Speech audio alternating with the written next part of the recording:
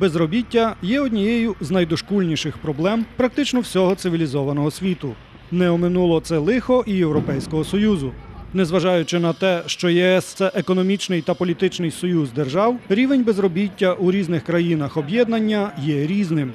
Найвищий рівень безробіття є у одній із найбільших та найрозвиненіших держав Німеччині. Серед десяти країн, що стали членами ЄС у травні 2004 року, ситуація із безробіттям також є різною. Наприклад, у невеликій Литві рівень безробіття вагається в межах 4-6%. А от у значно більшій територіально і за населенням Польщі рівень безробіття є одним з найвищих у Європі і на момент вступу країни в Євросоюз становив майже 20%. У Польщі зараз важко з роботою. Багато людей виїхало за кордон або не мають роботи взагалі. Частина працює тільки тимчасово. Щороку Євросоюз виділяє сотні мільйонів євро на подолання цієї проблеми. З моменту розширення ЄС на схід доступ до цих грошей отримали і нові країни-члени. Невелике польське місто Перемишль на кордоні з Україною за три роки членства країни в ЄС змогло знизити рівень безробіття з 20 до 16%. Головну допомогу безробітним міське управління працевлаштування надає в межах цільових програм. Наприклад, за кожного безробітного, прийнятого на роботу, працедавець отримує упродовж року компенсацію за половину зарплати нового працівника. Випускники вищих шкіл чи молоді люди до 25 років можуть упродовж року отримувати досвід на вибраному підприємстві, а зарплату їм платить не заклад, а управління працевлаштування. Такі стажування користуються великою популярністю. Ними може скористатися чимало осіб, і десь третина з них в результаті цього отримує постійне місце праці. За три роки членства Польщі в ЄС перемиське управління працевлаштування отримало з європейських фондів близько 2 мільйонів євро. На ці гроші допоміжними програмами вдалося охопити більш ніж півтори тисячі безробітних, половина з яких в результаті знайшла роботу. Директор управління визнає, що без європейських грошей для досягнення таких результатів знадобилось би значно більше часу і зусиль. Także wkładając nasze 100 tysięcy złotych, otrzymujemy Вкладаючи 100 тисяч злотих в боротьбу з безробіттям, наше управління ще 400 тисяч отримує з Європейського соціального фонду. Це значна допомога. że To działanie 1-2 jest w trakcie. У сусідній з Польщею Словаччині ситуація з безробіттям дуже подібна. Однак нові робочі місця тут з'явилися в основному за рахунок притягнення заможних інвесторів. Ще 2-3 роки назад е, рівень безробіття був одним з найвищих в країнах е, Євросоюзу. Е, Він досяг 20%. Зараз рівень безробіття по різних регіонах дуже різниця. На заході, в Братиславському краї, де ми зараз знаходимося, він найнижчий, а на сході, якраз на кордоні з Україною, це Пряшівський, Кошицький край, Бансько-Бистрівський край, ближче до центру, рівень безробіття суттєво вищий, в 2-3 рази вищий, ніж тут. Розуміючи загрозу наслідків безробіття, керівництво ЄС виділяє значні кошти на його подолання. Але разом з тим всі розуміють, що для успішної боротьби із безробіттям самих грошей замало.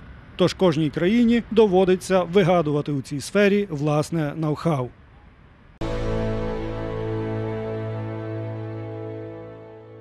Напередодні розширення Європейського союзу у 2004 році суспільства низки західноєвропейських країн найбільше боялися напливу трудових мігрантів зі сходу. Деякі з країн навіть домоглися так званих охоронних періодів від 5 до 12 років, упродовж яких цим країнам дозволено відмовляти у працевлаштуванні спеціалістам із країн нових членів ЄС. Однак, як показав досвід перших трьох років членства, трудова міграція стала більшою проблемою для тих країн, із яких виїздять фахівці, ніж для тих держав, до яких вони їдуть. Невеличка Литва на сьогоднішній день уже не може дошукатися 10% свого населення. Проблему ускладнює й те, що із батьками з цієї країни виїхало понад 20 тисяч дітей.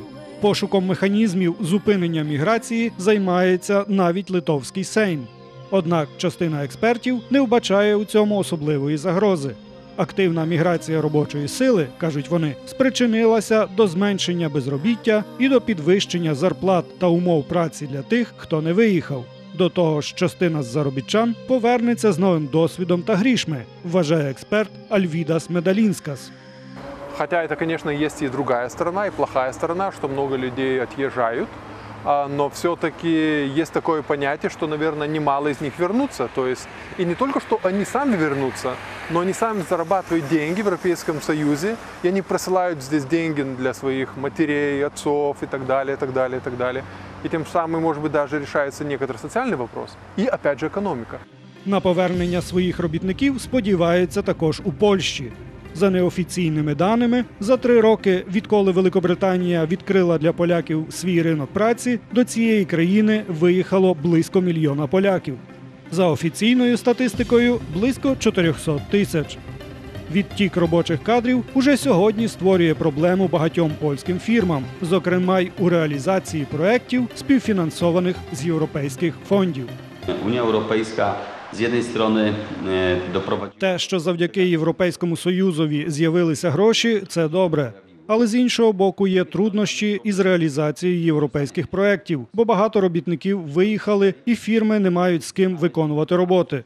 Через відсутність робітників деякі фірми не встигають вчасно реалізувати отримані замовлення.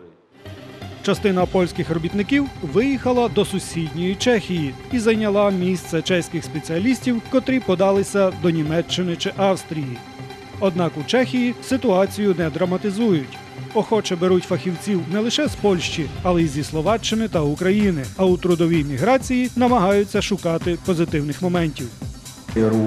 Після 1989 року у нас всі хотіли бути менеджерами, правниками, перекладачами, а робітничі професії втратили на популярності. Зараз цю популярність треба поновити. Тепер у нас кваліфікований робітник вже починає заробляти більше ніж середній адвокат. Остання хвиля розширення ЄС показала, що трудова міграція в межах Союзу є явищем тимчасовим і негрізним. Завдяки ж міграції, навпаки, врівноважується ситуація із безробіттям, зростає рівень товарів та послуг і прискорюється обмін досвідом.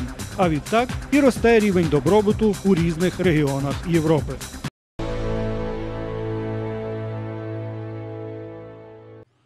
Договірний механізм європейської спільноти визначає економічний простір ЄС як ринкову економіку з вільною конкуренцією. Чотири головні свободи переміщення осіб, капіталів, товарів та послуг разом із принципом недискримінації і правилом конкуренції є складовими частинами цієї економічної схеми. Членами цієї схеми від травня 2004 року стали також країни Центрально-Східної Європи, котрі прилучилися до Європейського Союзу. З того моменту загальноєвропейські правила конкуренції поширюються і на підприємства із цих країн. Краще витримують натиск європейських конкурентів ті підприємства, котрі приготувалися до такого змагання задовго до розширення ЄС. На цій паркетній фабриці, що на околицях столиці Литви Вільнюса, працює понад 600 робітників. Щороку фабрика виробляє близько 3 мільйонів квадратних метрів паркету. Продукція фабрики успішно продається не лише у Литві, але й в низці країн Західної Європи Вступ Литви до ЄС змусив керівництво фабрики підняти зарплати своїм працівникам, щоб таким чином затримати їх перед еміграцією до багатших країн ЄС. Сейчас люди, э, много людей уезжает за границу, в Айрию, Швецию, Норвегию, и мы должны поднимать э, более-менее зарплаты. А от невеличке підприємство Овал, що біля польського Мальборка, котре виробляє яєчну масу і тістечка, вступ до ЄС зауважили у двох іпостасях: спочатку як успіх від додаткових ринків, а потім як тиск конкуренції. To znaczy na, na początku, gdy Упродовж перших кількох місяців членства в ЄС нам вдалося нав'язати добрі контакти і навіть вийти на скандинавський ринок. Але вже через рік тиск конкуренції і зміна курсу валют призвели до того, що нам довелося від цього відмовитися. powiedzmy po około Інший польський підприємець Марek Юркевич, співвласник невеличкого заводу у Жешові, що спеціалізується на обробці та продажі курячих тушок, оцінює вступ Польщі до ЄС тільки позитивно. адже 70% продукції своєї фірми він продає в країнах Євросоюзу у Данії, Швеції, Австрії, Словаччині і Великобританії. Однак участь у Євросоюзі це не лише додаткові ринки, говорить Марek Юркевич. Pierwsza sprawa i pierwszym plusem przystąpienia Polski do Unii Europejskiej Для забезпечення рівної конкуренції в межах Європейського Союзу Європейська e, комісія володіє спеціалізованим політичним інструментарієм. Цей інструментарій полягає в забороні картелів, у контролюванні об'єднань фірм і в нагляді за державною e, допомогою окремим підприємствам. i zdrowe kurczaki. Для забезпечення рівної конкуренції в межах Європейського Союзу Європейська комісія володіє спеціалізованим політичним інструментарієм. Цей інструментарій полягає в забороні картелів, у контролюванні об'єднань фірм і в нагляді за державною допомогою окремим підприємствам.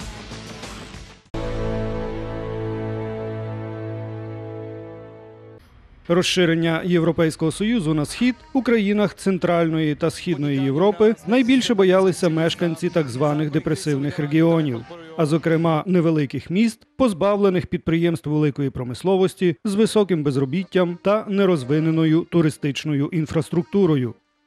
На території Польщі чимало таких міст і містечок розташовані у східній частині країни вздовж кордонів з Україною, Білоруссю, Литвою та Росією. У польській публіцистиці ця смуга називається Східною стіною. На півдні цієї смуги розташоване місто Перемишль, котре внаслідок адміністративної реформи у 1999 році перестало бути центром воєводства, тобто обласного значення. Разом зі вступом Польщі до Євросоюзу міська влада отримала можливість використовувати фінансову допомогу різноманітних європейських фондів для вирішення проблем міста. Około 50 milionów złotych. Проекти, які ми зараз реалізовуємо на суму 25 мільйонів євро з програм Європейського союзу, співфінансуються на 50%. Зокрема, ці гроші йдуть і на співпрацю з Україною. Європейську допомогу влада перемишля скеровує в основному на вирішення проблем безробіття, на модернізацію місцевих навчальних закладів, на покращення міської і комунальної інфраструктури, а також на ревіталізацію старого міста, тобто реставрацію історичних та архітектурних пам'яток. Ми намагаємося досягти визнання перемишля пам'яткою історії. Це дало б нам безпосередній доступ до грошей з бюджету ЮНЕСКО. tak jak Lwów. Розвивати і популяризувати своє місто за допомогою європейських грошей намагається також міська влада туристичного містечка Гіжицько, розташованого в країні Великих Озер, тобто у Мазурському регіоні на півночі Польщі. E, Mieszkańcy Giżycka e, Завдяки Європейському Союзові ми маємо шанс на розвиток. Це дуже гарні місця, але надто мало знані у Європі. Ми хотіли б засвітитися завдяки ЄС. Промоція міста без європейської допомоги була б неможливою. На даний момент, завдяки європейській допомозі, у Гіжицьку модернізовано сім вулиць. Розбудовано пляжі над головним озером, прокладено кілька туристичних маршрутів. Але головне, як вважає мер міста, ще попереду. chcemy zbudować na Ми хочемо ще з допомогою ЄС збудувати порт для 300 яхт. Самі ми цього ніколи б не зробили. Мешканці Гіжицька на референдумі з приводу євроінтеграції у більшості підтримали вступ Польщі до ЄС. Отже, кожен новий чи відремонтований на європейські гроші об'єкт у їхньому місті стає найкращим підтвердженням, що у своєму виборі вони не помилилися.